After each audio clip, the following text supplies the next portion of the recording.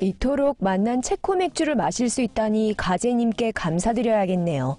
체코 맥주 양조장이 가재를 데려다가 맥주물의 순도를 유지하는 데 도움을 받고 있다고 하는데요. 체코 공화국의 남부 보헤미안 지역에 있는 프로비틴 브루어리는 가재의 심장 박동과 움직임을 모니터링하는 바이오 센서 장치를 갖추고 있습니다. 가재를 물탱크 안에 넣는데요. 이 탱크에 이 맥주 공장이 맥주를 제조하는 데 사용하는 물과 같은 천연 생수를 채워놨습니다. 가재들은 오염물질이나 물의 순도를 탐지할 수 있는데요. 몸이나 행동으로 그 변화에 반응합니다.